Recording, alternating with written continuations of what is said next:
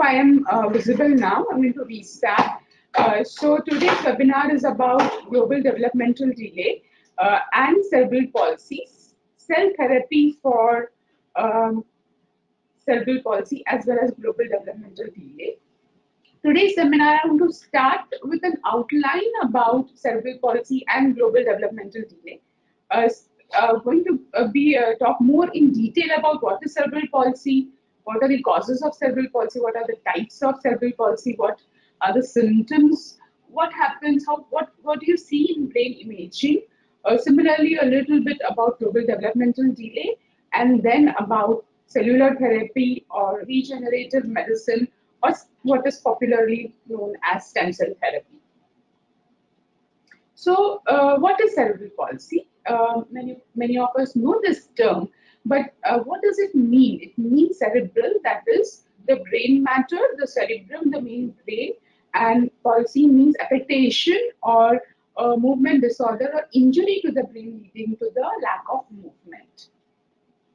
So it, it is of there is two components. One is the brain per se, and other is the damage to the brain generally what happens is uh, due to some factor there is a lack of oxygen that is hypoxia uh, to the brain leading to ischemia that is shortage of blood flow and then encephalopathy that is brain damage so hypoxic ischemic encephalopathy many a times um, uh, doctors and neurologists put HIE and parents wonder what it means it just means that because of lack of oxygen there is damage to the brain and that leads to what is commonly termed as cerebral palsy. So what are the types of cerebral palsy? I'm sorry, uh, technical error. Um, so the types of cerebral palsy are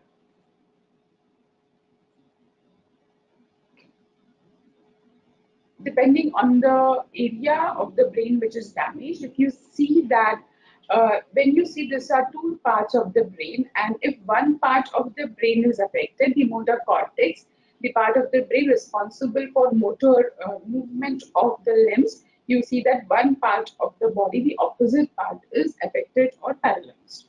When both the parietal cortices, the uh, part of the brain responsible for motor movement on both sides of the brain is affected, then you find that both the hands and both the legs are affected if the affectation of this cortex is much more and goes uh, much beyond uh, just the parietal cortex, you see a quadriplegia, which is much more severe, that is a neck down paralysis. Another type of uh, quadriparesis is dyskinetic cerebral palsy, where there is a paralysis, but it is not may not be complete. It is more due to the deep parts of the brain which is affected that is the basal ganglia and the thalamus. Uh, we also uh, see another type of uh, cerebral palsy that is ataxic cerebral palsy, the last one here, when you see that the small brain, the cerebellum is affected because of which you get the child is more, is incoordinated, uh, um, um, is, is unable to speak properly, swallow properly, and has like a drunken gait or a drunken movement, incoordinated activity, and that is ataxic cerebral palsy. So a spastic CP, just to give you a visual idea, you can see that there is adductor spasticity and the legs are crossed like scissoring pattern. There is increased muscle tone, limbs are generally underdeveloped, uh, movements are very stiff, there is increased tightness. Uh, you can see here a child with spastic cerebral palsy, uh, the legs are very tight. The therapist is barely able to uh, manipulate them and the child has a scissoring gait. You can, parents feel that the child is able to walk, but this is a involuntary spasm-like uh, reflex movement which is actually happening at the spinal level, not really because the brain is controlling it. The other is uh, damage to the basal ganglia or deeper parts of the brain leading to a fluctuating tone in the body. So when the child wants to do voluntary activities, there is tightness and the child is relaxed, there is the child is loose. So, for example, when the child is sleeping, is completely appear normal, but when the child wants to go and pick up something, the tightness increases. So that is known as a dyskinetic or dystonic cerebral palsy. Uh, when the cerebellum is affected, small brain, the balance is affected, and the child has incoordinated activity. So this is an example of ataxic cerebral palsy I'm sorry, the video is not playing. Uh, there could be a mixture of these. Some children may be purely spastic or purely dyskinetic, and there could be a mixture of spastic and dyskinetic both, depending on the area of the brain damaged and that could complicate the matter much more because we are dealing with much much more complicated or a mixed cerebral palsy. So these are a few examples and of course there could be an addition intellectual disability, uh, disability vision involvement, hearing involvement, and seizures which would complicate the cerebral palsy. So what are the causes? Uh, generally, the, the most common cause is hypoxia uh, due to or, or, brain development delay or uh, lack of oxygen due to a low birth weight. So, so when the child is in the mother's womb and the development or the weight is not proper properly increasing due to anemia or nutritional issues in the mother or some other issues, then the child's brain development is most often affected. Uh, then there could be, of course, maternal factors. Uh, there could be a problem at the time of birth, and that is uh, trauma when the child is coming out. Could be, of course, metabolic errors, infections, congenital brain abnormality, hypoxia when the child is inside the womb and genetic or chromosomal disorders. So uh, all these could lead to brain damage and sometimes we call them as cerebral palsy and sometimes we call them as a global developmental delay. So uh, before birth there could be congenital problem, the brain development itself is affected. So many times we see polymicrogyria, the brain development tissue is less and hence we get uh, not so many ups and downs or and the brain looks more flatter uh, infection um, uh, in the mother when the child is in the mother's womb, injury due to lack of sufficiency of oxygen or trauma during birth and after birth there could be a problem of viral infection or bacterial infection or hypoglycemia or jaundice leading to sepsis. Uh, sometimes wrongly administered drugs, failure to uh, carry out appropriate tests at the right time, for example, RH incompatibility, um, no action taken immediately when the child is distressed, um, uh, sometimes, as I said, hypoglycemia unnoticed, and starvation uh, because the child is not able to suck. So what happens? When the child is supposed premature, uh, in, for example, intrauterine uh, infection in the mother may trigger a premature birth and during that time the child is still developing there could be a intraventricular hemorrhage bleeding inside the brain uh, uh, there could be problems of connection placental insufficiency leading to hypoxia uh, there could be infection inflammation leading to release of uh, cytokines and other reactive oxygen species leading to periventricular leukomalacia that means that the cells around the ventricular zone, which are actually the stem cells in the brain, these are uh, damaged. Uh, on an MRI, it looks like a white tissue in the ventricular periventricular zone, and hence known as periventricular leukomalacia, which is a indirect um, effect of the hypoxic ischemic uh, damage. And these children are at high risk for developing cerebral palsy.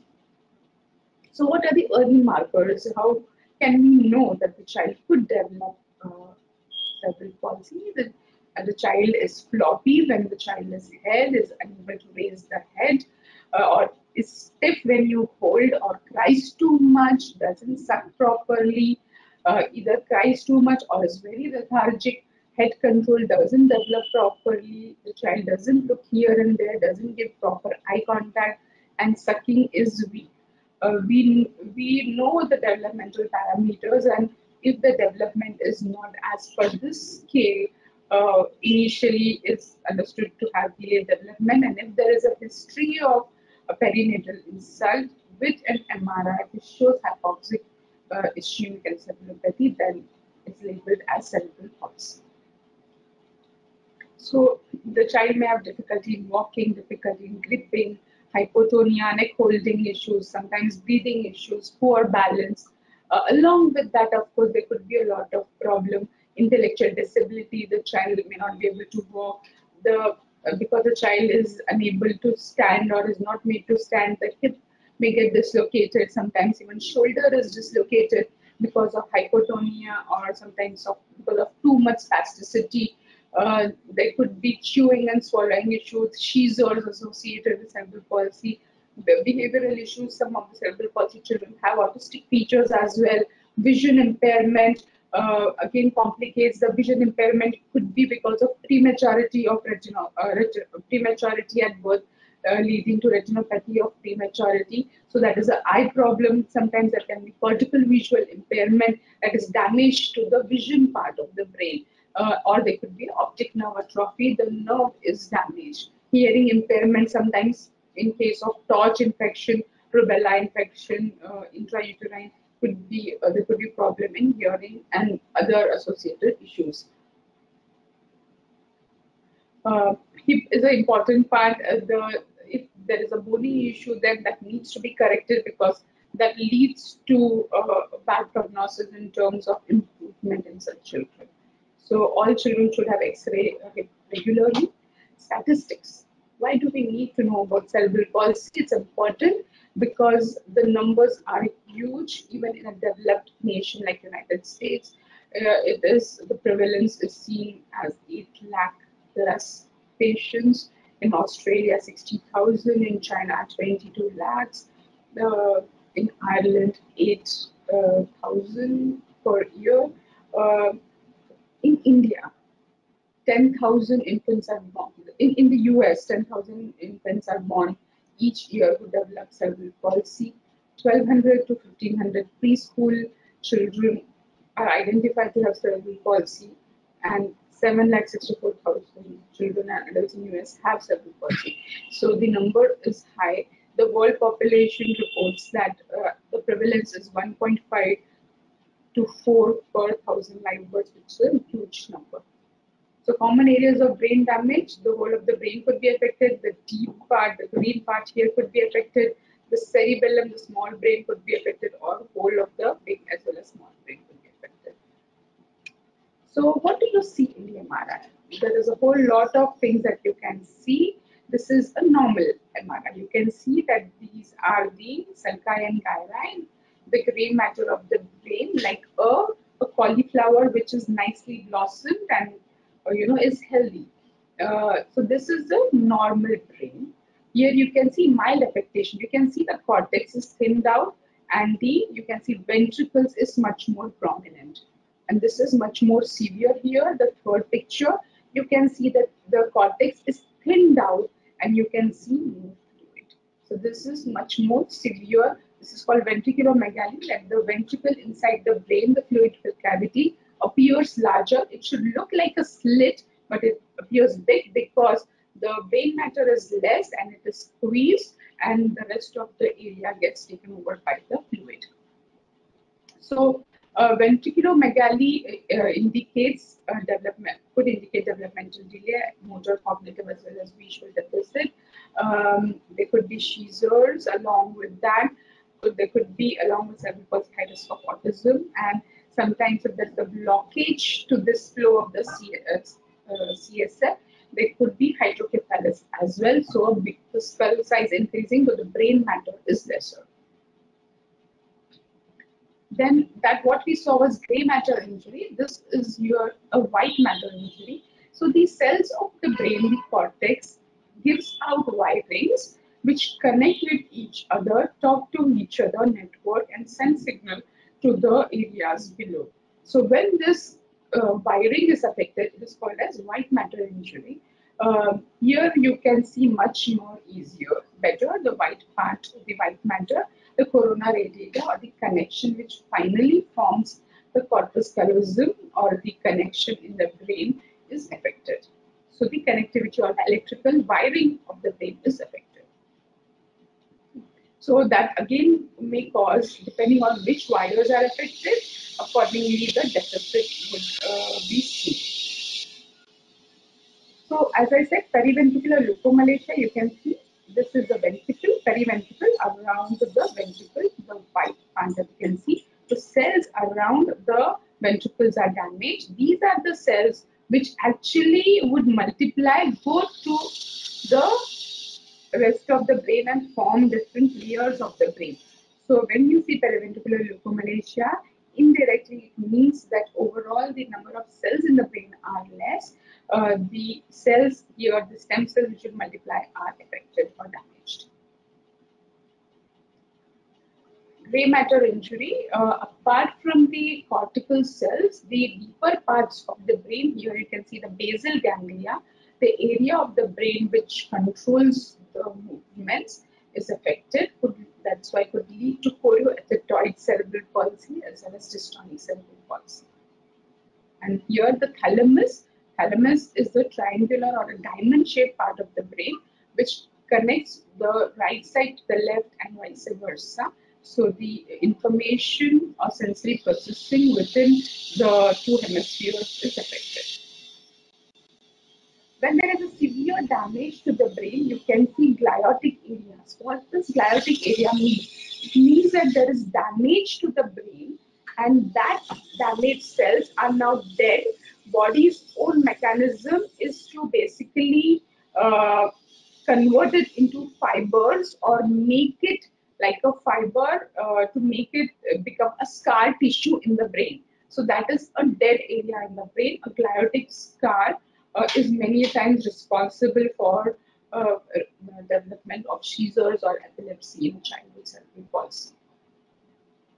There could be heterotopias. Heterotopias are cells in the brain which should not be there or are cells while the development is happening. They, there are pockets of cells which do not have any connection or relevance to the rest of the brain. Um, so these can again give rise to uh, epilepsy. What you see here is a corpus callosum. You can see this white U-shaped part inside the brain matter.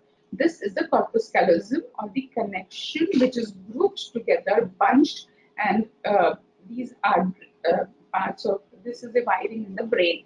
This is a normal corpus callosum as opposed to that you can see here very thin corpus callosum. So when the cells in the brain are less, obviously the connectivity or wires they will send out will be lesser.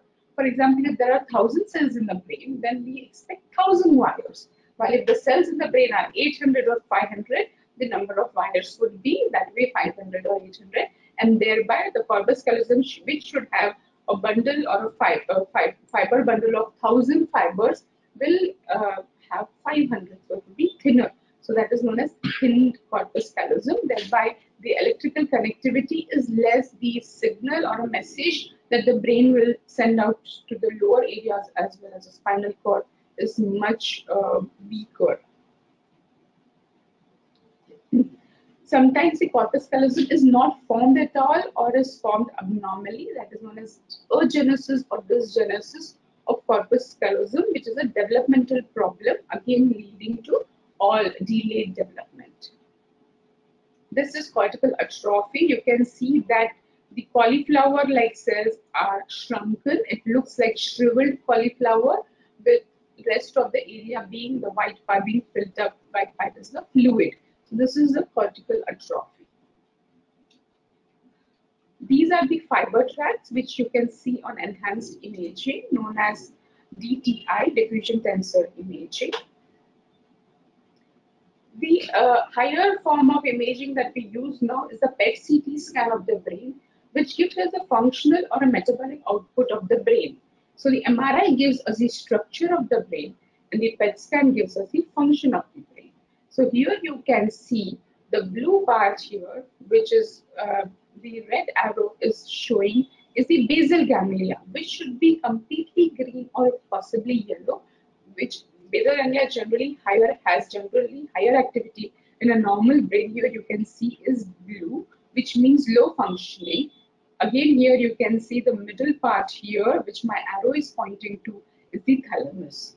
So the basal ganglia are thalamus here are functioning less.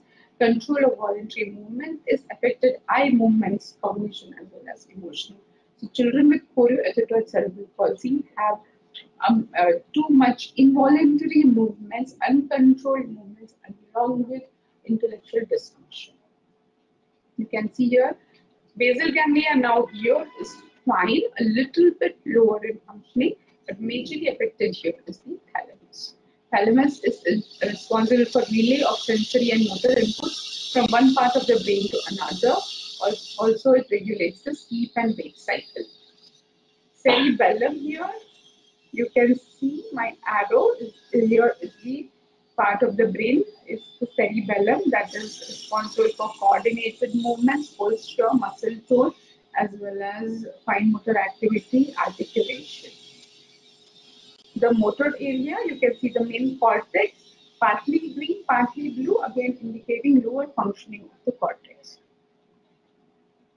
So a little bit about global developmental delay. Uh, global developmental delay uh, indicates uh, when there is a delay in the functioning, uh, the various areas could be affected. Only gross motor or fine motor uh, affectation could be there. Along with that, speech language may or may not be affected. Understanding may be affected. social emotional issues could be affected or activities of daily living. There could be affectation of one problem or many together maybe a little bit or, or severe. The causes, it could be a whole lot of causes similar to cerebral palsy. Uh, uh, genetic causes, genetic causes if there is a problem in various genes. Most common that we see is Down syndrome, uh, trisomy 21. Uh, then uh, all these various uh, syndromes leads to various multiple problems. Brain development is affected but along with that, there could be cardiac issues, there could be bone development issues, uh, there could be hernia, there could be um, uh, polydactyly, even the formation of limbs are affected. So there could be multiple issues in chromosomal and genetic conditions. Metabolic, uh, there is a problem in the amino acid cycle, or there could be a problem in the uh, galactose pathway, or then acquired uh, fetal alcohol syndrome, very common when the mother, uh, the child is exposed to alcohol when in the mother's womb, again leads to multiple issues along with brain development being affected, predominantly nutritional issues when there is deficiency of iron, B12, folic acid. So the neural tube defects are seen. Infection, most common is a torch infection, toxoplasma, rubella, cytomegalovirus, and herpes uh, infection um, uh, of the mother leading to defect in the development of the child. Uh, stroke, sometimes uh, unknown causes. Stroke may also cause uh, uh, within the womb may cause brain damage and other congenital anomalies. Perinatal issues or prenatal issues, birth is exterior due to infection, due to stroke, low birth weight, metabolic issues, again, toxins, uh, exposure to lead, mercury, infection, uh, stroke, trauma, poor nutrition, and sometimes undetermined etiology, sometimes consanguineous marriages as well. So again, prenatal causes, genetic could be acquired, could be uh, a, a combination of both. So there are multiple causes which can lead to affectation of the brain development and may not strictly fall in the category of cerebral palsy and hence then labeled as global developmental delay. Sometimes the cause is known, sometimes we are able to pinpoint what the problem is, and sometimes it's remain, we remain clueless. But uh, through all of these, we do know that there is something wrong in the brain which is causing a delay in the development of the child. Uh, the gross and fine motor could be affected, hand-eye coordination. The child could have dysmorphic features which could uh, point out to the fact that it is not a, a, a, simple cerebral palsy. It is a developmental delay due to some unknown genetic or chromosomal factors. Most of the time, these children are hypotonic, have very poor muscle tone. Speech and language uh, impairment could be associated with this, as well as vision affectation, cognition, and autistic features. Uh, activities of daily living finally get affected because the brain development itself is not all right. So again, what are the treatment options both for cerebral palsy and for global developmental delay? If you see that really uh, uh, till very recently, nothing, uh, nothing for the brain per se, but overall, yes, rehabilitation, all kind of therapies, medications to reduce spasticity, uh, medications to control seizures, uh, medications to control movement, involuntary movement. Sometimes there is hypothyroidism, so thyroid, uh, thyroxine, diet and nutrition, uh, for example, seizures, for seizures, ketogenic diet, psychological intervention, and all rehabilitation when there are deformities like orthopedic deformities or hip dislocation or spasticity leading to deformities, surgeries for the same.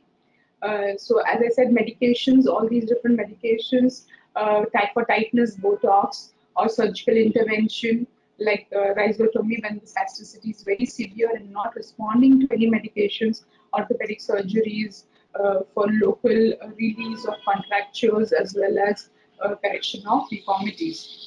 Physiotherapy, physical therapy, occupational therapy, speech therapy, aquatic therapy, psychological intervention, diet, nutrition, all of these uh, are the pillars of the treatment for cerebral palsy and global developmental delay, but is it enough?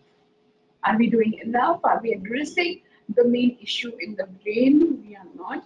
And that's why uh, the need for cellular therapy or regenerative medicine or stem cell therapy, whatever one may like to call.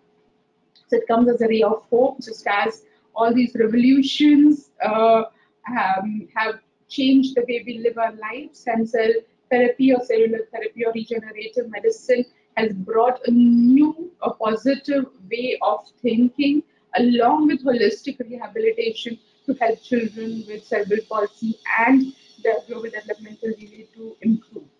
Um, so there are many, many conditions, incurable neurologic conditions, which can be addressed with uh, cellular therapy. And we need something definitive because the numbers are huge. So let us first understand what is the concept of cellular therapy or regenerative medicine. Stem cells are basically tools for can be used for regeneration of various parts of our body and hence uh, become part of the regenerative medicine. Uh, these are special cells which have the ability to multiply, repair, replace, and regenerate that part of the body in which we uh, basically transplant them. So, very simply put, stem cells are cells in our body which are akin to the stem of a tree. Stem of a tree gives rise to branches uh, and when proper fertilizer and water are uh, given to this stem or this seed, then uh, the branches give rise to leaves, flowers, and fruits. Uh, similarly, there are cells in our body which can multiply manifold and become any part of the body. All of us at one point of time were uh, stem cells in our mother's womb. These cells multiplied many, many fold. And when they were about 32 cell stage and next, they uh, could actually, when uh, developed in the laboratory, could give rise to any tissue of our body. These are known as embryonic stem cells. Uh, these cells then, as they multiply and grow and differentiate, can form the whole fetus. When the child comes out of the body, the cells are still growing, the stem cells are still forming various organs. And when we are an adult, most of these uh, stem cells, uh, their utility is over, uh, they become inactive, they reside in these different parts of the body, but they are quiescent. However, there are certain areas of our body which multiply lifelong and are the uh, possible source for adult stem cells. So how do these cells work? Most importantly, these cells have the capacity to multiply many, many fold. One cell can multiply into thousands of cells. Depending on which part of the body you are putting them into and what signals you are giving them, these cells can convert into or transform into those cells. Like these are, when you put them in the, into the liver, they can mimic the hepatocytes. When you put them in the heart, they can connect with the endometrium, when we put into the spinal fluid, they can eventually become nerve cells. What is most important is they release many different kinds of chemicals. Um, uh, they release immunomodulatory chemicals known as cytokines, and they release growth factors which can stimulate the repair and repair and regeneration in different parts of the body. They improve blood supply and thereby improve angiogenesis, that is new angiogenesis, formation of new blood vessels, and um, uh, basically being the conduit to give oxygen to that part which is damaged. So what exactly is regenerative medicine? We see that this is the brain where there is damage. These cells go and repair the damage and improve brain functioning. So the different types of cells that I spoke to you about, first is the um, embryonic stem cells taken from three to four days embryos. Uh, this was one of the earliest cells in 1998, which actually had a lot of promise, uh, but uh, due to one ethical issues, um, because many religions consider that at the time of conception, uh, uh, the egg has life, and if we use these embryos, then we are killing a human being uh, so on those grounds, the lot of research got stopped. Also, these cells have the potential, uh, characteristic or theoretical potential to form teratomas or tumors. And because of these two reasons, currently these cells are uh, not suitable for clinical transplantation. However, because of uh, this understanding, all the other types of cells got, um, you know, uh, basically merged into the same uh, thought. But we do have other cells like placental cells or cord blood stem cells as well as adult stem cells which do not have any do not have any ethical issues. We are not killing an embryo and do not have the potential to form teratomas and are suitable material for clinical transplantation. So when we are talking about uh, the um, research being banned and the cells forming tumors, we are actually talking about embryonic stem cell, while adult stem cells actually circumvent, circumvent both these ethical as well as scientific um, issues or uh, objections of various scientists as well as religious background. And hence, uh, one would uh, one should think twice before actually generalizing the whole stem cell field. And when we actually uh, we, we actually say that alcohol and homemade orange juice are both beverages and hence uh, they're toxic to the body. So we need to differentiate that and understand that adult stem cells do not have the issues uh, that embryonic stem cells have.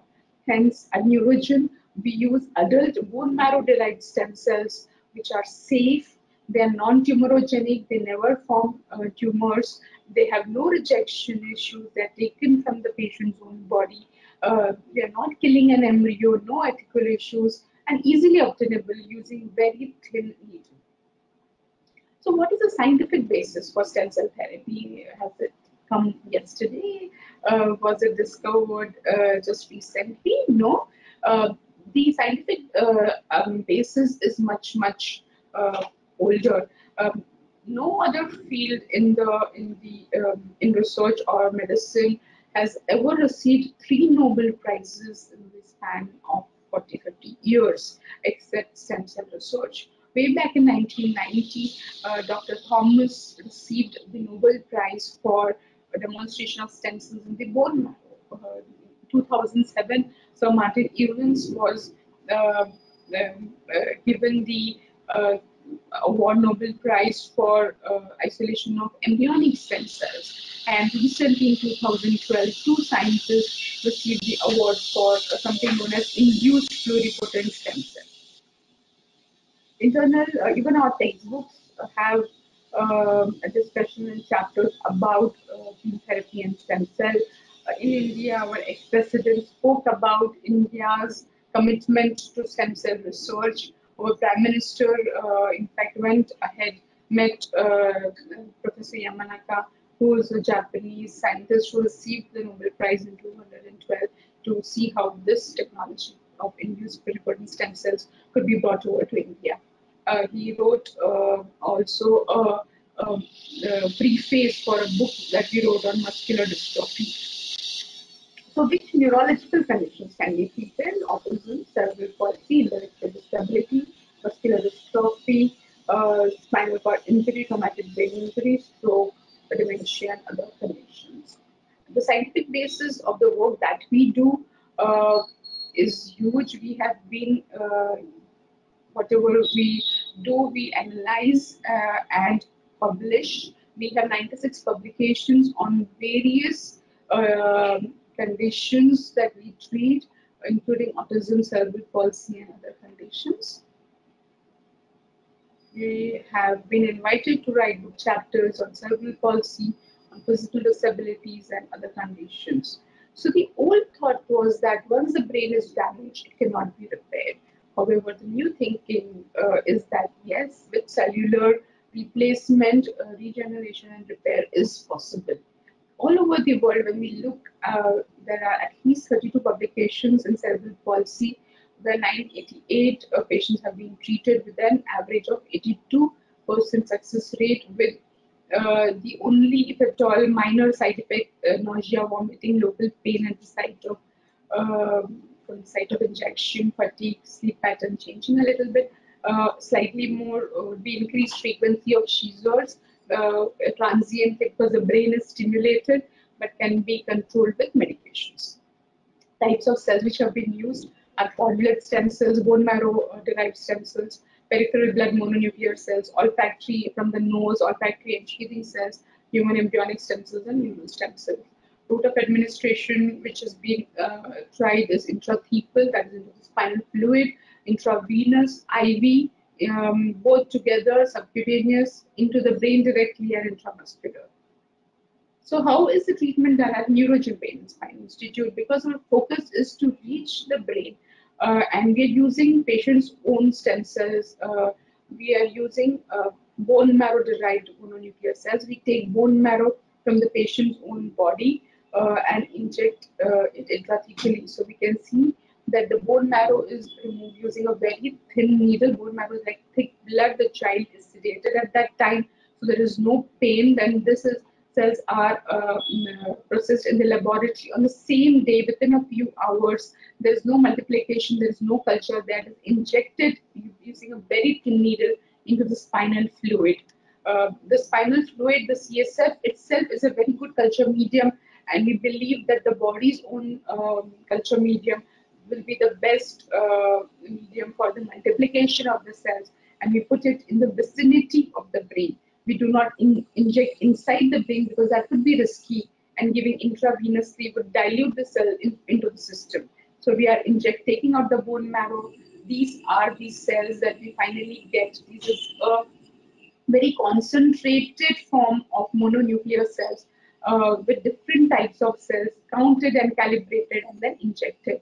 Uh, this cocktail or mixture contains all these different types of cells. You find endothelial progenitor cells, we find mesenchymal stem cells, multipotent adult progenitor cells, uh, MIAMI or marrow isolated adult multilineage inducible cells, multipotent adult stem cells, very small embryonic stem cells, and a major portion is the hematopoietic stem cells. Injected into the spinal fluid here, and through the fluid reaches the brain or the part of the brain which is damaged. It will not go to any other place because this is the only place that the spinal fluid goes around. It is safe because we are injecting after the spinal cord ends, so we will not damage the spinal cord. The cells have a homing instinct, they can sense where the damage is and go. Cells do not get diluted into the system because we are going into the spinal fluid. So what are the results? So in cerebral palsy, though we have treated over 1200, broadly in 660 analyzed patients, we find about 91% success rate. Um, our publication, uh, the first of our publication that we have published um, uh, shows improvements in various areas uh, such as sitting, standing, walking, ambulation, leg movement, overhead activity, uh, hand movements, tone of the body in, in the diplegic cerebral palsy. In quadriplegic, mainly neck holding and sitting balance, standing and walking with support. In dystonic and uh, dyskinetic and ataxic patients, coordinated activities improve. Now, let us see how this works. If you see immediately, as soon as the cells are injected, what we find is that the oromotor, we see central part improves. So oromotor improves, the um, tongue movement, lip movement improves, involuntary movement reduces, voluntary controls become better, and there can be a minimal neck holding within a week or two weeks. The, up till three months, we see improvement in gross motor activity, midline crossing movements getting initiated, initiation of finger closing and opening. It's easier for the parents to handle the child now. Child is much more cooperative for therapy. Uh, there is improved tongue movements also seen. Uh, trunk control becomes better. Sitting balance becomes better. Supported reaction, when you make the child sit, he, he initiates movement and wants to balance his body. So this is up to three months. Between three months to six months, we see uh, support required for sitting becoming lesser, initiation of weight shifting, initiation of uh, ability to take weight on hands and legs improving, um, uh, the different movements becoming much more clearer, chewing becomes better. Uh, after six months, then standing balance and taking step improves. Aerial activities uh, can be seen better increase in motor movements, development of equilibrium, so balancing reactions becoming better, and speech as well as chewing improving. So overall, we see slowly that the, the disability becomes less and abilities improve. A most recent uh, analysis, which is still not been published, uh, but just for the interest, of have analyzed in detail 262 um, uh, patients over a period of 3 to 22 months, uh, 179 being males and 83 females the 80 below the age of 5, 99 between 5 to 10 years, 10 to 42 between 10 to 15 years, and 41 above 15 years. Now, what we see uh, similar, we can see that here uh, in we can see that upper limb out of 243 patients in whom upper limb is affected, 136 improved. Standing improved in 132 out of 248 patients. Sitting improved in 128 out of 198 patients Similarly, movements, uh, involuntary movements improved in 40 out of 90. Um, head control uh, better in 52 out of 82. Uh, similarly, upper limb tone became better in 86 patients. So we see about 40 to 50 percent in every area improving. Uh, so in some it may be more, and in some it may be less. Uh, when we see the scores, we see that GMFM, GMFCS, and FIM all improving and significantly improving.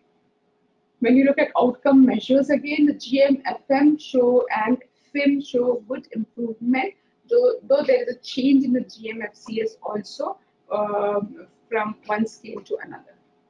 This is the book chapters that we have written in Vedas. This is the first the publication that we have published on cerebral palsy uh, on the PET scan. Let us see what are the changes on the PET scan. You can see here, this is before the treatment. You can see the basal ganglia thalamus affected. You can see after the treatment, the, the damage is improved. The green indicates good functioning or normal functioning. You can see here, temporal cortex, lateral as well as medial, green showing improvement. Again, thalamus affected before the treatment, improved after the treatment. The cortex, much less functioning has improved after the treatment. Overall, we can see that here again, occipital lobe area for vision has improved in functioning. Cerebellum, low functioning has improved in functioning. Thalamus again, less has improved. Cerebellum has improved. So there are these are the various changes thalamus has improved. We will uh, see a few case reports Again, you can see a lot of low functioning areas has improved. In spastic cerebral palsy, this is a four-year-old child with a cerebral palsy. Earlier he was W sitting, his posture was you know stooped. Now he's much more stable. He kneel walking. He doesn't require any support at all. More confident, independent in kneeling with one leg independent in sit to stand uh, and even to some extent walking. uh, no, maybe not normal, but much better, improved, uh, able to get up from the floor more independently. This is before and this is now. I hope the videos are uh, visible. Uh, walking independently has been achieved now. So started standing and walking independently. So this uh, are the changes that you see in a static child, cerebral palsy. Again, another child, five-year-old cerebral palsy child, you can see that all fours, his balance has improved. He has started crawling like a regular child. Earlier he was hopping. Knee balance has improved.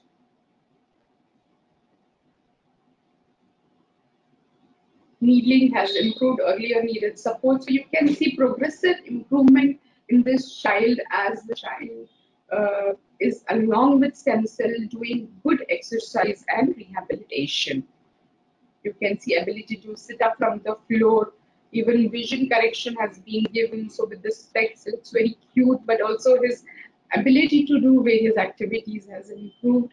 Imitation skill, eye contact. So overall development. Earlier you could see that earlier he could hardly walk and needed a wider base of support, and now he is able to walk much better with two crutches. This is his brain, how it was before. You can see all these areas, thin cortex, lot of blue areas. This is before the treatment. You can see after the treatment, as if the brain has started healing.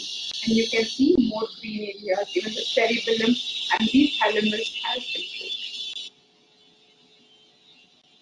Another child, this child in fact, uh, apart from having cerebral palsy, also has hydrocephalus and uh, we chose to treat him without correction of the hydrocephalus. There was hardly any neck holding. You could see the head is really big. Uh, he could uh, not even have, didn't have supported sitting also. So with now uh, slowly crawling uh, started, he could perform sit to stand much better. Earlier was completely uh, needed support when he started you know, training and uh, is able to now walk with some support.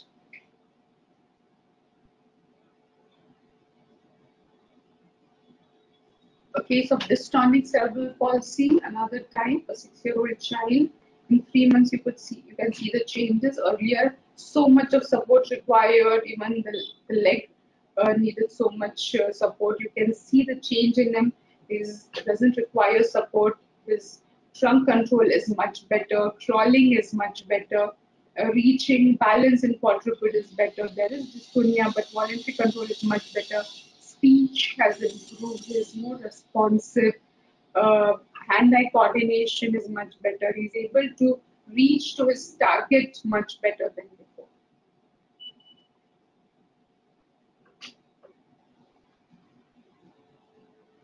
This is a four-year-old child You could see that earlier crawling was just hopping. So what you see is each movement becomes much more visible, becomes much more independent. So from a hopping to an alternate movement, uh, that's the achievement here. Can walk on the knees. Earlier would just stumble down. Uh, he could get up. He can now get up from the floor and climb the table. Earlier needed so much support and he also responding to the therapist. Sitting is improved. Earlier needed support, now he is able to uh, sit independently and use his hands much better. Gripping has improved. Crawling over steps. So this is the way that he is progressing uh, slowly. What the therapists are doing, whatever therapy is being done, stem cell helps to fasten the process. So what you would achieve in one year, you may be able to achieve in three months, lesser than six months. So the accel, because the brain activity is improving, the uh, signal which is sent by the brain becomes much more uh, uh, stronger and faster. Another child, this is a case of a very, very severe dystonic cerebral palsy. There was even cognition was affected, would not cooperate, had so many tantrums now much more coordinated. In fact, cognition has improved, cooperation for therapy has improved. tantrums have reduced.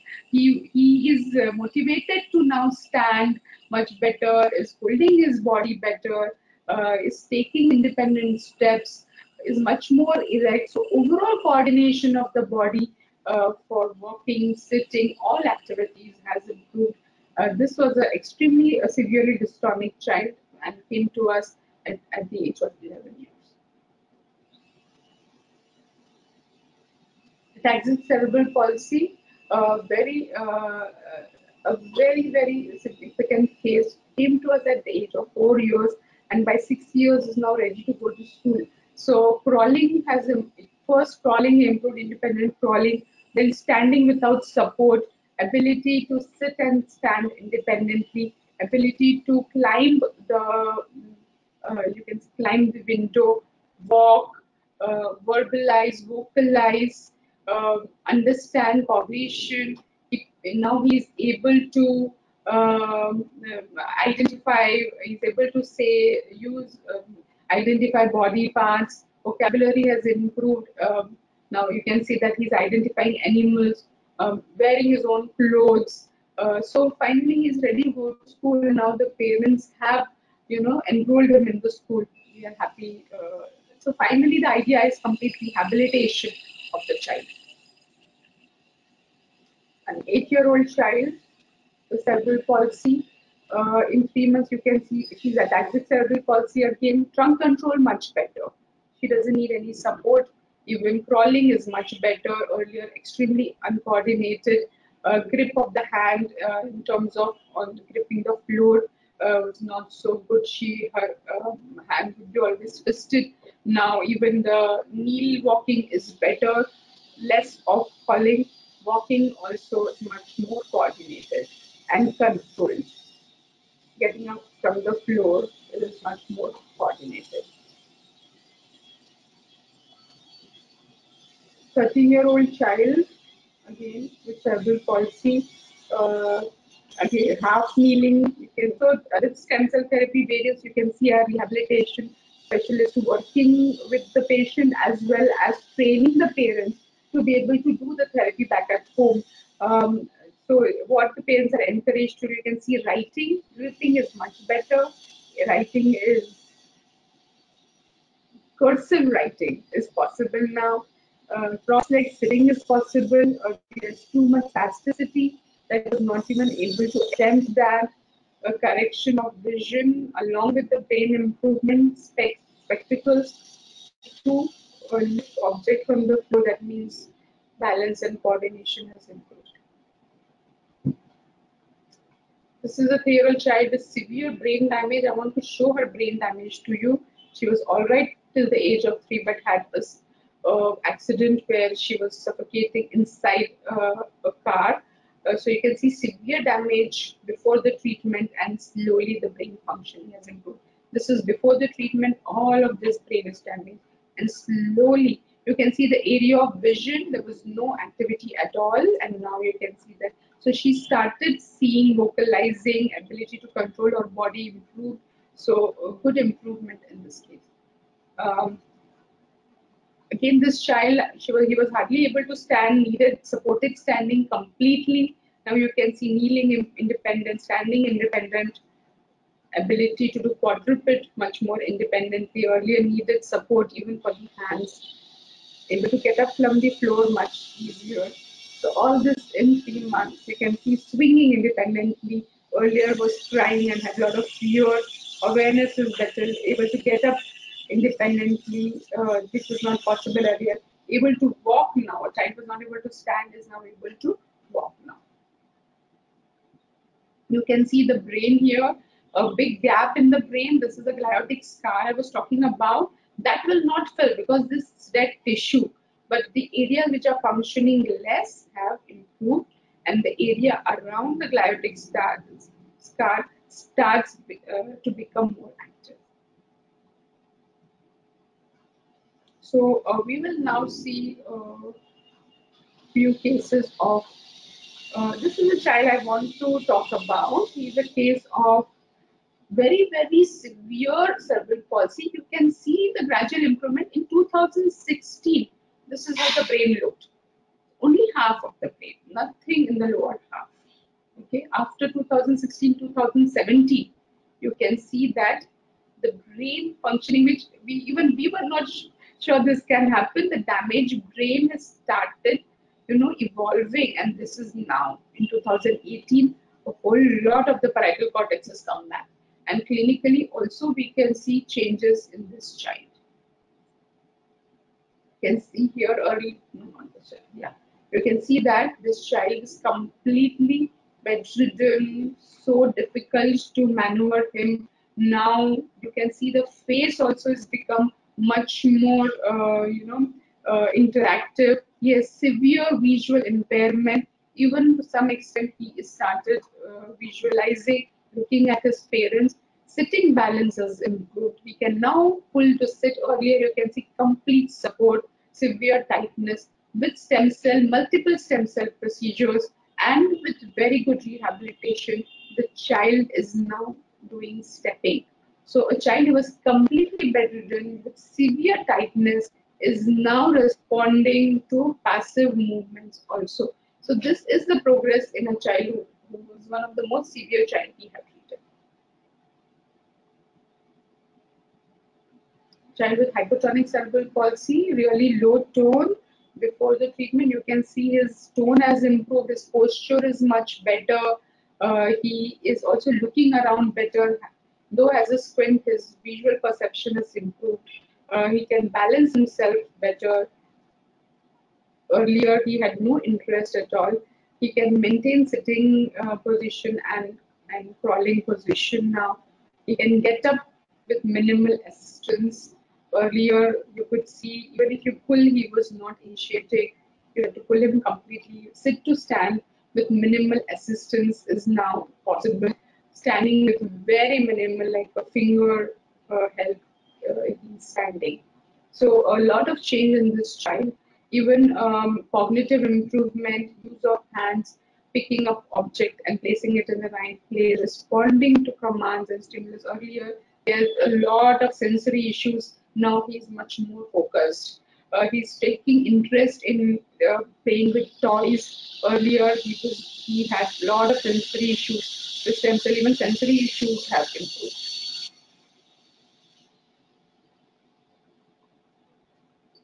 This is a 21 year old girl, very, very motivated girl of cerebral palsy with severe um, tightness, is now able to roll better, she's able to sit better, and recently, uh, new, new news is that with a, a, a wide based walker, she's now able to ambulate much more independently and is joining ITI to learn computer programming and use of computers. So uh, it's like a rebirth for her at the age of 21 years. She has now the motivation to be able to look at her life and do something and go ahead. So tightness is reduced, long sitting is better. She's able to sit and balance better. Speech has improved beautifully what she speaks earlier, her parents could understand now. Everybody can understand what she's uh, speaking. New motivation, renewal of motivation to do something and get out of the house and get rehabilitated completely. So this was her brain before the treatment. You can see improvement in the brain function. So we will now see a few cases. There are n number of cases actually of cerebral palsy. I can show a few of global developmental delay. Now, this is a four-year-old uh, child diagnosed of global development delay with all the issues that a cerebral palsy child would have. However, there was really no uh, birth history which would contribute, uh, and uh, we could call it CP. Uh, MRI was normal, so no structural damage and the child and his first child was diagnosed as uh, global developmental delay. You can see the damage on the PET scan. You can see that functioning of the brain was very low. This is before the treatment. All various areas were functioning less. After the treatment, you can see a whole lot of improvement. The green uh, areas becoming more. Uh, even the basal ganglia. So all of these areas have started functioning better. So this is a child's uh, scan after three months. You can see here that you know he is uh, not cooperating. He needed complete support for standing. You can see here he's standing with only uh, help of uh, cot, able to take objects. So hand functioning has improved, much more um, uh, interested towards activity. Earlier you could see that complete resistance to standing and walking. Now he is able to train, uh, uh, get trained better. Standing is better. Earlier full weight on the caretaker. Attention has improved, is able to do holding and using and responding, reaching out is better. So hand function has improved. So overall, there is a holistic improvement in this child of global developmental. Another case who had a child who has difficulty in walking, maintaining standing balance, a problem with fine motor activity, uh, inability to express. Uh, the mother had a history of uh, uh reversal of fallopian tube, non-consanguineous marriage, full term normal delivery, cried immediately after birth, history of uh, neonatal jaundice, only uh, and was in the incubator for 9 to 10 years. Delayed developmental milestone and when the MRI was done found to have leukodystrophy uh, no history of Seizures, child a rehabilitation program for delayed development. She achieved milestone but regressed after some time. So the MRI when she came to us showed that again that the corpus callosum is involvement and a whole lot of midbrain and cerebellum is involved uh, as well as the white matter is affected. Uh, we can see the PET scan before the treatment, the cortex is involved as so is the cerebellum. After the stem cell treatment, you can see the cortical improvement uh, is seen this is her video. You can see earlier attempt to stand and kneel was difficult. Now she can she attempts to kneel and kneel, walking independently by herself. Uh, sit to stand she can do herself. Earlier she needed support from support. Earlier balance while walking was very difficult. Now with minimal support or no support, she's able to climb stairs. Um, holding pen uh, is much better. She can write now, which was not possible earlier. Reading activity, fine motor activity has improved. Tongue movement, voice clarity, speech is better. So there's a holistic improvement where there was regression. Now there is an improvement. She is going ahead in spite of the leukodystrophy. She can remove her shoes. So we find that earlier we treat the children better the results because the brain is much more pliable and uh, we can remove and wear shoes. Another case, again, difficulty in all activities, needs assistance, hyperactive, poor cognition, non-consanguineous marriage, uh, milestones were delayed, history of seizures uh, is there, uh, diagnosis of global developmental delay, even the MRI shows gray matter heterotopia or, or bunches of cells and generalized brain atrophy. So uh, this is a five-year-old child with a lot of even autistic features and hypotonia. Earlier, she, uh, she could not lift her arm, she could not grip, sitting balance and reach out was affected. Now you can see after treatment, she's much more responsive. She wants to do, she can walk much better, she is more active, she can vocalize. You can see a difference in her whole uh, itself, improved understanding, can point to objects, um, and is much more uh, able, is can sit independently, um, can climb with lesser assistance, um, and overall she's progressing from where she had actually stopped progressing. So improved walking, balance is better, walks with a walker, and slowly uh, uh, she can walk with one hand support much better. Another case, uh, unable to stand and walk independently, unable to crawl, uh, all the areas, even cognition affected, non-consanguineous marriage, no prenatal issues, full-term C-section. Child was diagnosed as, as global developmental delay at eight months, uh, microcephaly in the MRI, corpus, corpus callosum dysgenesis, improper formation of corpus callosum as well as the brain. So whole brain uh, was affected in this case, and in a year so earlier, uh, not only physical but also cognitive issues. Now she's much more responsive, uh, much more playful. Walking is much more is independent. Earlier needed support. Uh, she can imitate better, reciprocal kneeling is better. She can sit up, which was not stand up from sitting, not possible earlier, and walking independently. Cognitive improvement as well as speed, as well as uh, physical improvement seen in this child. So again, holistic improvement not only in one, one area but every area. This child who could barely stand is now able to walk and climb stairs without anybody's help. This child again, a stubborn uh, child, unable to stand and walk independently and poor combination, non-consanguineous marriage. Um, the uh, uh, uh, this child was diagnosed to have Angelman syndrome on genetic testing. One episode of seizure at the age of three years. MRI showing only mild prominence of the ventricle.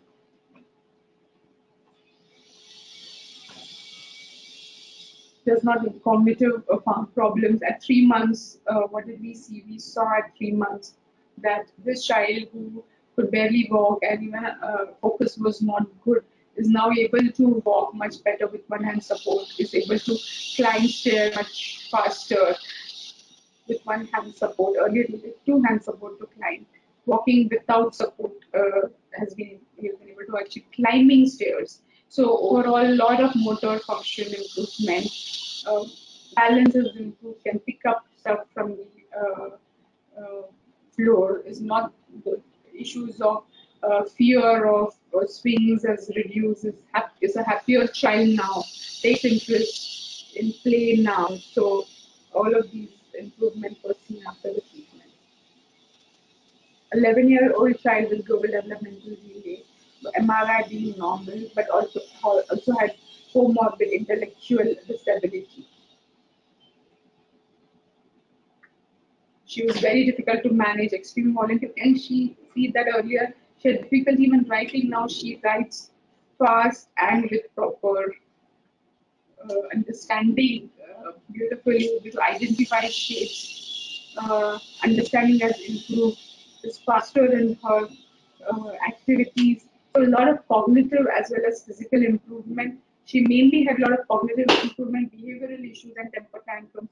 Now she's much more cooperative. Earlier she was she would hit people, is able to maintain eye contact, and uh, cognitive improvement is seen very well.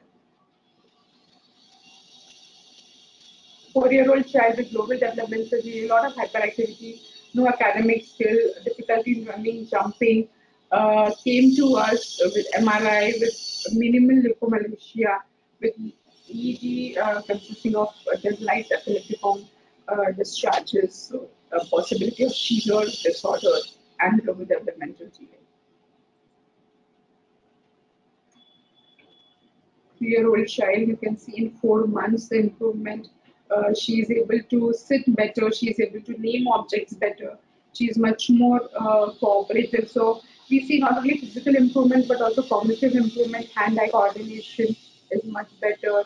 Earlier had difficulty in putting uh, uh, blocks into the PECs, onto the PECs vocalization, uh, meaningful vocalization is observed. So here you will not be able to hear any sound. Uh, you just have to take my word for it. So cognitive and speech improvement uh, is seen in this child very well.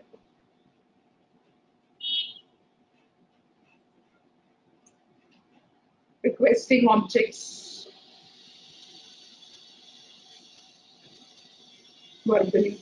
So uh, a child, uh, when child comes young, we can see holistic improvement in these children. A five-year-old child with a lot of sensory issues, low confidence level, dependent for all activities, hypotonia.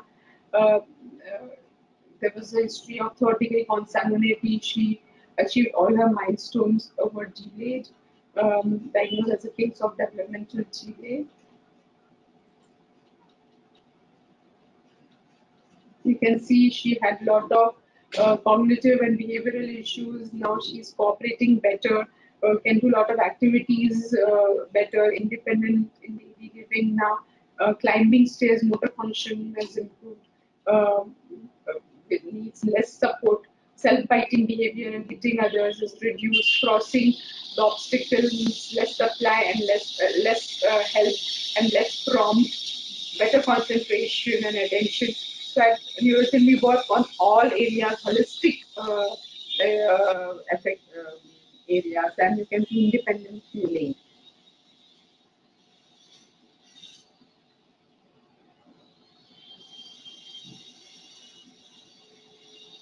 So this is last a three-year-old boy. He came to us from Australia. He was not diagnosed at all. You can see that he has dysmorphic features. Uh, MRI uh, also showed problem as well as PET scan. You can see improvement in not only understanding and physical issues, but also following commands and and uh, responding to external stimulus. So uh, whatever may be the chromosomal or genetic issues, uh, we can still see improvement. We see also improvement in Down syndrome, which I have not covered in this webinar. Uh, when we look at complications, no major complications as such, no reversal of the neurological condition is seen. There is a possibility of a transient increase in seizures in 3% of cases, which can be controlled or reduced to less than 2% by proper anti-epileptic cover, by giving proper medications, a possibility of spinal headache and transient pain and nausea, vomiting within the stay of the hospital is possible. So it's overall safe treatment and improves quality of life of a patient. This is Neurogen Brain and Spine Institute in Navi Mumbai, we have treated over 8,000. I'm sorry, this is a wrong figure. 8,500 patients from over 80 different countries. This is our infrastructure. Uh, this is a state-of-art um, laboratory as well as uh, uh, operation theater. Uh, this is a stay facility, in-house stay facility with a comprehensive rehabilitation, a combination of uh, cellular therapy with rehabilitation holistic care.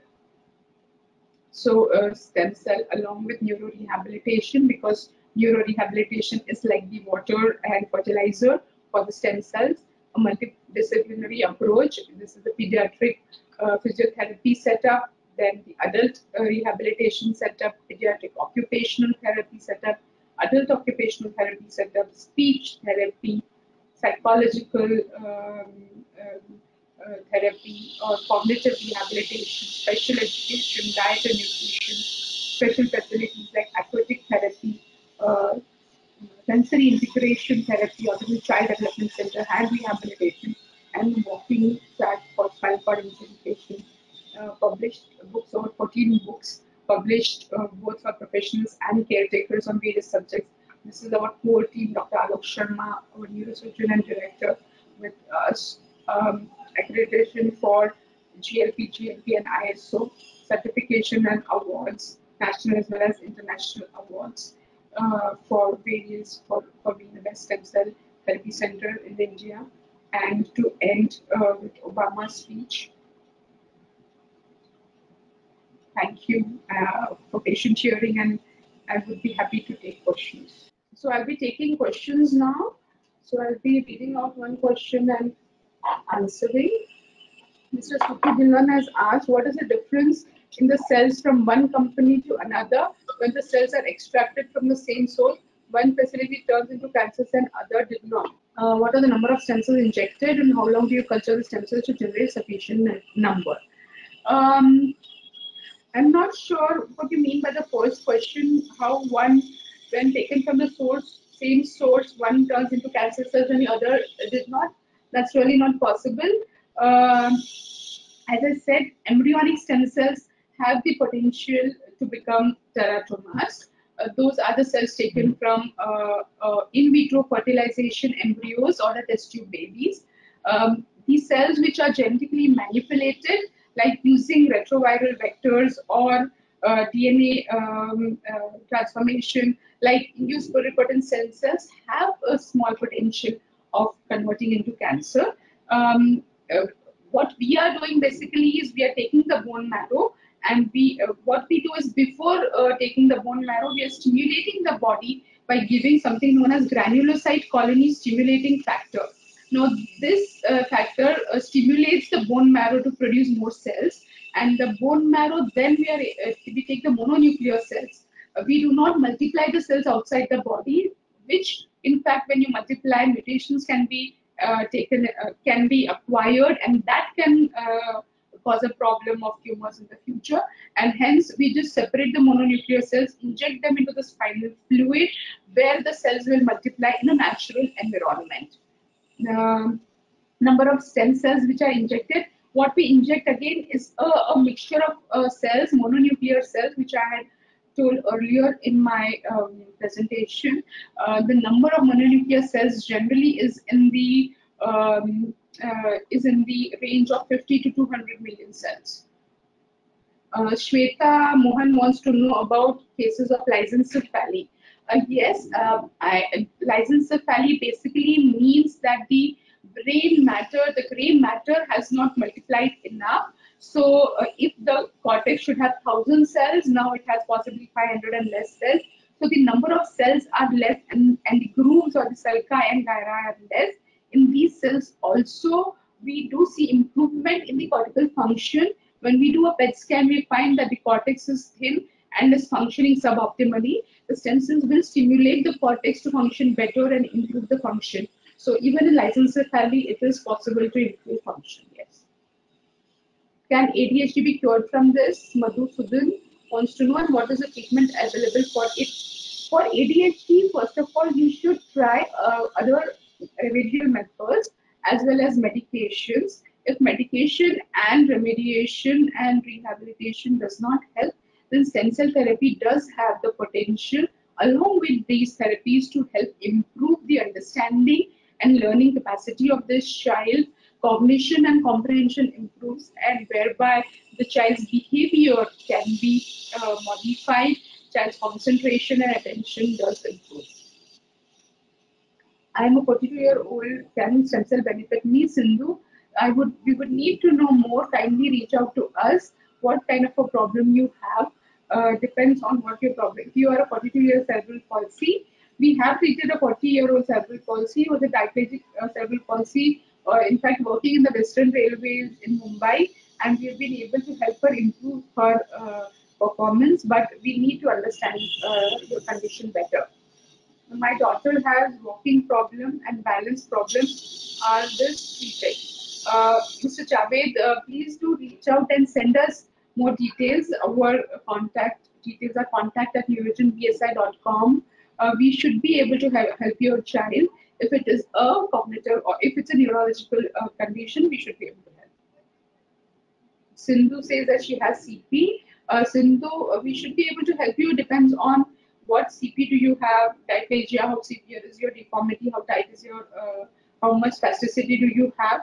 Um, definitely after the stem cell uh, individual who is uh, older, uh, we, we will need to work out much more exercise becomes much, much, much more important in an older um, case of cerebral palsy.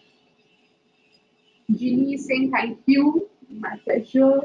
Uh, can infantile spasm be cured by stem cells? So please send the email address and contact information. Infantile spasms, no epilepsy, infantile spasms will not respond to stem cell, but uh, patient with brain damage and developmental delay along with infantile spasm can be treated. However, infantile spasms will require medication.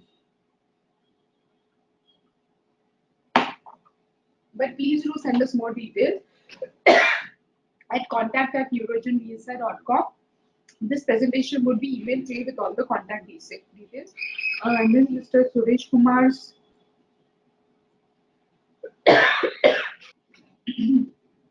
Mr. Suresh Kumar is asking, there is an improvement in cases after stem cell treatment. My question is there anybody treated to become normal functioning person? How to study significant improvement in cases? Yes, if you start early, uh, um, rather than normal, I would say independent, functionally independent children. Yes, we have seen as I gave an example of a child who was four years old and came to us with severe issues is now going to school. So depending on when the child comes to us, uh, we will and how severe the problem is, we will prognosticate what is the goal for each child and accordingly work on it. I really do not believe in using the term normal. Uh, we would rather say uh, improvement functionally and to be able to lead an independent life. the way that we would uh, quantify improvement would be clinical as well as uh, through imaging. Clinical would be uh, using parameters such as GMFM, GMFCS, and functional uh, FIM or functional improvement uh, measures. And a brain scan will show whether there is improvement in the brain functioning. Lissencephaly, where there is no damage as such, will stem cells still help as there are no dead tissue to regenerate or revive? Yes. Uh, in fact, dead cells cannot be revived or regenerated. If you saw a scan which showed that there was a gap in the brain, there was there was gravity scar or dead tissue, that will not improve. However, the areas which are functioning less, as seen in the PET scan, will improve. In a case of lissencephaly, we generally see that the number of cells are less, plus these cells are less functioning as per the PET scan, we will see that they are, uh, what PET scan does is it, it basically identifies the ability of the neurons to utilize glucose as a metabolism uh, marker. And those, uh, we find that many of these neurons are functioning less. Stem cells, as a of the paracrine effect, will stimulate these inactive or low functioning cells to function better. So that's how it, it will help lissencephaly. If there are any more questions, please do email uh, to us at contact at neurogenbsi.com and uh, one of our, would get back to you. Will there be any adverse uh, effects to lissencephaly? Uh, we'll need to see the only adverse effect as uh, we do see is possibility of seizures. If there is a history of seizures or epilepsy or if EEG is abnormal, so we would need to know that and if uh, there is a potential, then we will need to cover with uh, anti-epileptics or medication to prevent seizures. Uh, no other side effects, long-term side effects are seen. Yes, this webinar will be emailed to uh, all those who have registered and you will be able to see the webinar. Thank you, Shweta. Uh, and hope I've been able to answer all your questions. Feel free to reach out to us at any point of time and we would be happy to answer any questions which have been unanswered. Thank you and have a good day.